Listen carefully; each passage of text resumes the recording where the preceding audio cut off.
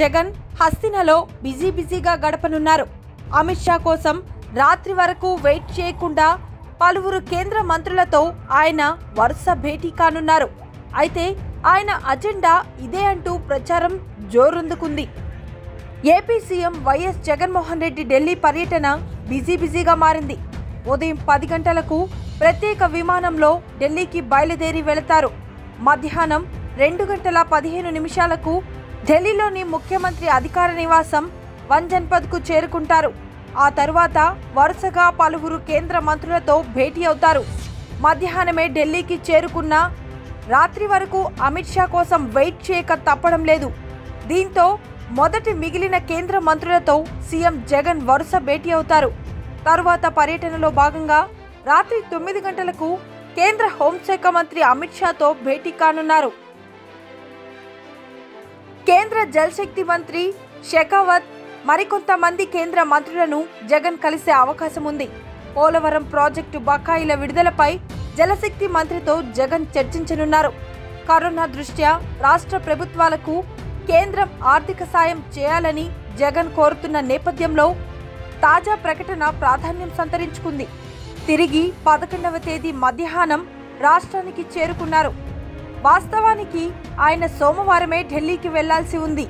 కానీ కేంద్ర హోంశాఖ మంత్రి అమిత్ షాకు సమయం కుదరకపోవడంతో వాయిదా పడింది. గురువారం అమిత్ షాతో పాటు పలువురు కేంద్ర మంత్రులను జగన్ కలిసే అవకాశం ఉంది.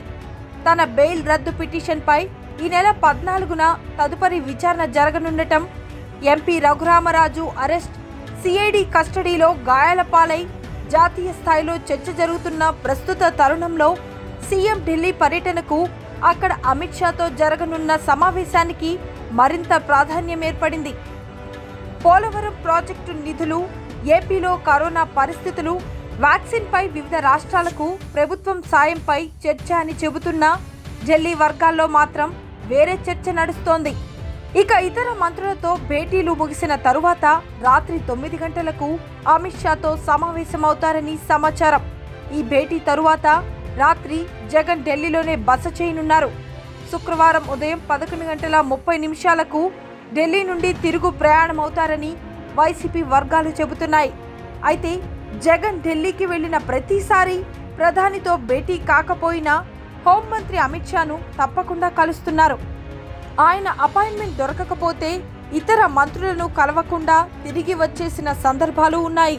ఢిల్లీ వెళ్ళిన ప్రతిసారి ప్రత్యేక హోదా పోలవరానికి నిధులు Kadapa steel plant Dugarajapatnam port వెనుకబడిన జిల్లాలకు బుందేల్ఖండ్ తరహా ప్యాకేజీ తదితర అంశాలపై మంత్రులకు వినతి పత్రాలు సమర్పించారంటూ సీఎం కార్యాలయం వాట్సాప్ సందేశాలను పంపిస్తోంది కానీ సీఎం జగన్ మాత్రం వాటిపై మాట్లాడిన సందర్భం లేదు ఈసారైనా ఆయన క్లారిటీ ఇస్తారో లేదో చూడాలి Please watch Tulsi News. Please subscribe to Tulsi News.